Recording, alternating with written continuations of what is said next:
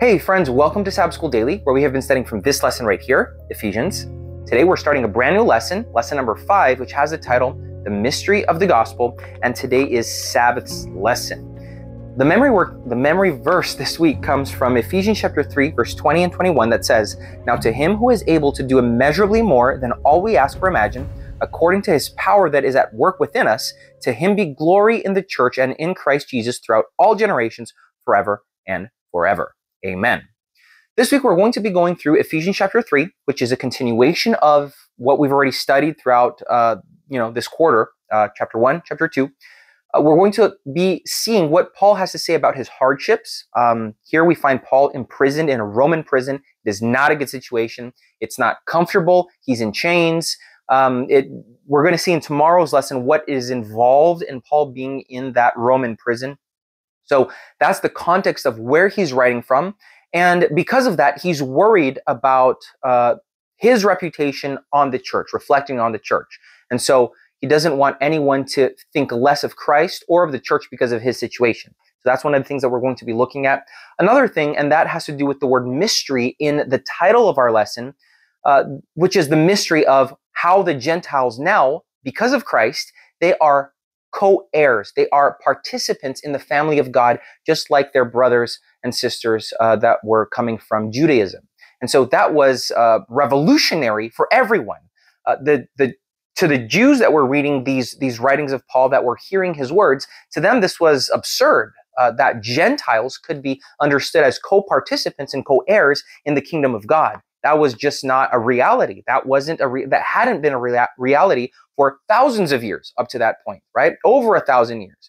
And now Paul is saying that in Christ they're all one. In Christ, the Gentiles are now participants. They don't have to go through Judaism. They don't have to first convert and be proselytes in Judaism to then become Christians. So this is a revolutionary uh, idea. This is a revolutionary teaching. Also to the Gentiles that are hearing this, it's revolutionary for them that they don't have to go through all the rites of Judaism and that they are considered brothers and sisters, co heirs and participants in the gospel story. So that is the mystery that Paul is talking about. That's what we're going to be uh, studying, studying about and learning about this week. I encourage you to study your lesson. If you can, read Ephesians chapter 3 as a whole. It's going to give you a good context. You'll see that Paul, he kind of, one thing that I like about Paul is that and that I can relate to a little bit. Obviously, I'm not the Apostle Paul. I don't have the genius of the Apostle Paul, but I, I, I have a very hard time sometimes staying on point. Right? That's my wife's told me that a billion times. Right, stay on point.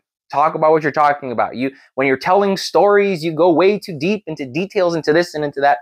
So one thing with the Apostle Paul that we're going to see here in chapter three, that he starts talking about something and then he he kind of goes into something else and then he comes back. And so I can really relate to that because I'm a little bit like that myself.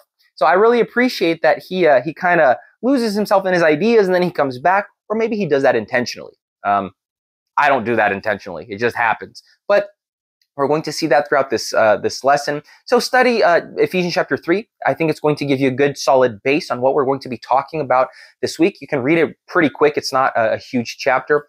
And also, please remember, study your lesson, look up the memory verses, write out the answers, write out your questions, write out your considerations. If you do have a question, if there's something that crosses your mind, please write it down in the comments. I'll try to get to it. I'll try to answer it as best I can.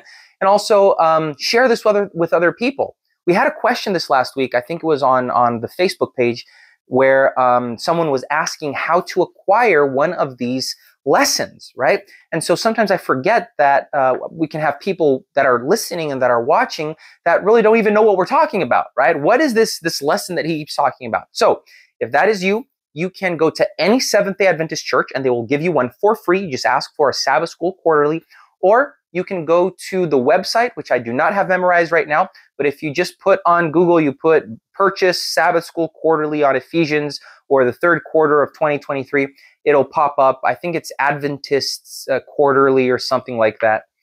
Um, my wife is telling me that she knows. Do you know what it is, Danny?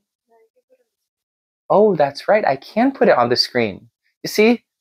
That's my wife. She's so smart. So I will put it on the screen right under here um, in, in, while I edit it, and that is that is actually a very good idea. And um, and then that way you can also uh, get one of these. You can also study it online. You don't have to buy it if you you know have a computer, have a phone, have a tablet. You can go to this website that I will be putting right here, and that will also give you the, uh, the, the lesson where you can go and you can study it. And so there is no excuse not to study your lesson. Look it up, learn with us, and I'm sure that the Lord will bless you through that. Also, please remember to like, to share, and to subscribe to our videos. We release one every day, and I hope to see you again here tomorrow for another Sabbath School Daily.